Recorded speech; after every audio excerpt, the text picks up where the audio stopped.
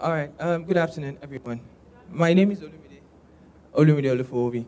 And, um, well, it's a testimony, I would say. Uh, where really do I start from? Maybe my heart is beating pretty fast. I'm not shy, but I don't know. It's quite an emotional one, so uh, I'm not holding my energy, so I'll try not to cry. All right, so um, I attended Joy 1.0, and um, it was a great one for me because I, I thought November, December of last year was really a roller coaster because um, my mom turned to Jackie Chan and got on the plane and had to go check my dad because she felt something was wrong. And we got there and realized he was ill and he wasn't going to tell anyone. And while she was there, my brother-in-law came back and um, were in and out of the hospital as well. So I had to, I had to be the man of the house and all of that. And um, I think, okay, my dad got better. We had a surgery. It was fine. That was tick. So it was my brother-in-law. And um, for a while, I've been ill at some point, and uh, maybe I thought it was cancer. So I bought a book about cancer, and uh, I was reading the book, and I had a, I had a test done, all of that, so I was fine. So I didn't have cancer. Okay, fine. Okay, so that passed. That and I, I felt okay, fine. Cancer is far from us. We just read it in the books and um, see it on the dailies. And um, the result from my brother-in-law's test came out, and immediately I saw spleen. I knew what it was, and I was afraid. Yeah, I was afraid because I just did not want. I felt cancer is off of it and all of that, but uh, it didn't work like the plan because. Um, okay, we started meds and everything. We all went back to normal lives and all that and all of that. But um, towards May, June, the whole thing started, and this time around, it felt more like, okay, Olumide. Um, I came up with a quote saying that God will deal with you with what you fear the most. And I think that was what I feared the most because I couldn't imagine my sister being a widow at that pretty young age. So we tried all we could. We prayed, I sowed seed of mercy. Seeds have worked for me. So it's not a function of it didn't work. It was just a function of what God wanted to happen. And I learned so much about, um, these days I don't seem to even understand English anymore. So when I'm singing songs to God, I always like to check the meaning in the dictionary. So as a last night, I was singing and I, and I read Everlasting Love. I was singing and I heard Everlasting, so I had to go check it. And it was like, love forever.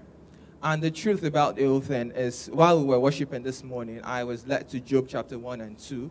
And I remember um, that, that um, convo between um, God and the devil about Job, about God placing an edge around him and all of that and all of that. And he says, you know what? That this guy really has come to me, and the devil tried to torment him with that sickness in his body. And it felt more like the devil wanted to win the battle, but I've called his soul to myself, and he has won the victory. And in the, in the entirety of this old drama and all of it, I've had my cry, and today was my, well, I say my midwife. I, I totally put off my, I totally, literally, I put off my scalp and I was crying. I cried. I'd never cried that way in my entire life because I knew the days were approaching. I, as a, when I was praying, I was led to Psalm 144 thereabout, talking about the death of the saints is precious in the eyes of the Lord. And I prayed it away. I said, God, it cannot be happening. No, this can't happen. No, my brother-in-law, no. Uncle Donny has to be with us. He has to, you know, he has to take care of Okwa. He has to take care of Fikayo and all of that.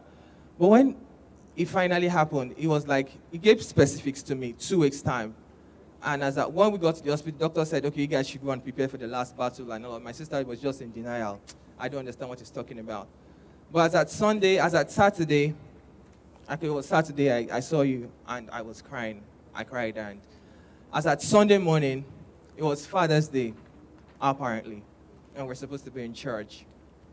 I had to go to church. I'd, I'd literally changed church. I had moved in with my sister. And this is me who was, at some point in my life, I was, I was really running around the hustle world. I was really hustling for money. So my time was important. Christmas, I didn't spend with my family because I felt I needed to meet some other people and strike some deals. But over time, when I had cancer, I realized that all that matters would be family, all that matters would be love, and what you can do for people while you can and while they're alive. So as a Sunday morning, it was Father's Day. I totally forgotten. I, when you when you when you have to when you have to change turns, going to check somebody in the hospital, you just forget you forget time, track of time and date. So I got into church. I was carrying my niece. My nephew was right next to me. There was a red carpet. I was wondering, is there a party or something? And the lady just screamed, Happy Father's Day. I'm like, oh, sorry, I'm the uncle. I'm not the dad. Like, no, it doesn't matter. Go snap a picture. And at that point, when I stood there, I think I just have, I started to have teary eyes again. I'm like, okay, fine, God, please just let this call pass the virus. like, let this guy come back, come and do this for his kids. But I didn't know that was the last day, really. So we're in church, and my sister was crying unnecessarily. I was very emotional. If it was, I don't know, I think I'm learning to cry now everywhere. I'm learning to cry anywhere and everywhere. I don't care. I just clean the face. I don't care you know. So it was not really my church. So I was trying to be the all get together, put together guy. So I was really old in it, but my sister was all along, and she she I was on a gray, she was on a black dress. And she said when she wore that dress that morning, she heard in her spirit, today is the day. And she said, God forbid. And I laughed. Because when God told me two weeks, I didn't tell her anything. So when she prays with me, I stopped fasting, I stopped giving seeds, and I was just giving thanks. And um, when we got back home, we were trying to eat and all of that. So somebody called from the hospital saying we had to, we had to come over. And all through the night, we are in and out trying to get blood and blah, blah, blah. And when they said we had to come over, I just had to stay at home with the kids and she went to my mom. And uh, as I took, my mom called and said, okay, ask your brother to leave the house. He has to get back to school. I'm like, okay, fine, no problem. Then as at 6, they went back. As at 7.30, they went back. And I get a call from my pastor's wife saying that I need the house address. And at that point, I began to sing. And my sister, my, I was my immediate elder sister, and she had totally lost it. She had totally lost it, and she was like, no, God cannot do this. And all along, I attended Joy, I attended Joy 1.0, then I started taking a course um, at um, Life Point Church, um, experiencing God. And my sister was making jest of me that, see you, you that they born in deeper life, you're taking a course in experiencing God. What else do you need to know about God? But I think that it was just a preparation. There was that part in the Bible that talks about um, seeds falling on fertile ground, falling between rocks, and all of that. Because the truth is, when we hear things like this, there will be trials. There will be trials. And when the trials come, is when we actually now would know if all of those things really do abide in us. And the whole, in the whole of the journey, in the entirety of it, okay, fine, it passed, and we had issues with in-laws, back and forth. We had so many other things. Then she had to resume work she had to resume work. And you know how it is with the tradition. I've, I didn't grow up, I'm a Yoruba person. My father is a Yoruba man, but I didn't grow up coming close with tradition. But I had to, to do that. Uh, you don't walk people. You don't, uh, you don't smile. You don't cry when the kids are around. And it was, it was, it was not so much of a perfect timing for us. But during that period, okay, she had to resume work, and there was a whole lot of pressure what she was supposed to wear and what not. And she had to do this very funny all back and wear black for like say two weeks. The first week she did. The second week they called her and they're like, "See, madam, we understand the fact that you're young and all of that. We require that you do not wear black to this office anymore. And she was like, okay, I don't understand. I said, yeah, we understand tradition, not that, but you really need to get your back, your life back together.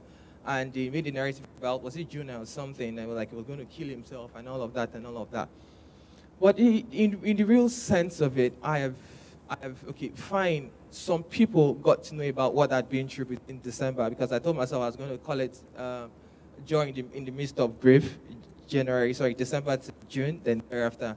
So I, I, I, I got talking to certain people, and somebody said, Olumide, I don't know how you did it, but you never worried on your face. And I'm like, maybe I just, I totally learned to get from God in the place of prayer. And I think that's what has helped me through this. Thank you so much.